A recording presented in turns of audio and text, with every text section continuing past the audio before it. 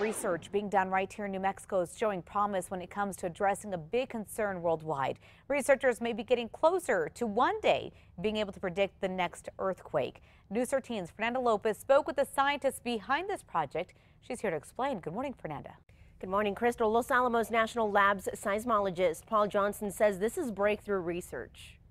We're learning new things about the system that we didn't know existed.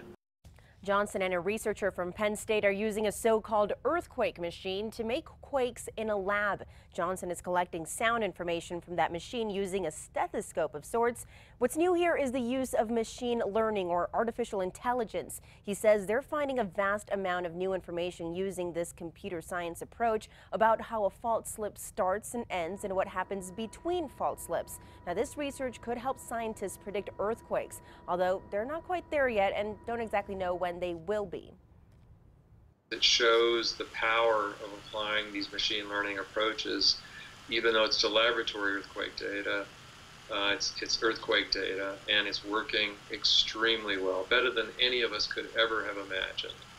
Most recently, we saw the devastation of magnitude 8.1 earthquake left in Mexico. Johnson says we know a powerful tremor is overdue in the Pacific Northwest, and any advancements in earthquake detection can be extremely helpful. Now, the next step, Johnson says, is applying this in-lab research to the actual Earth. Crystal. This could be very helpful one day. Thanks so much, Fernanda. The summer, Johnson was able to break his to get his rather breakthrough research published in an Earth Science journal. In the coming weeks, he hopes to publish more of his work.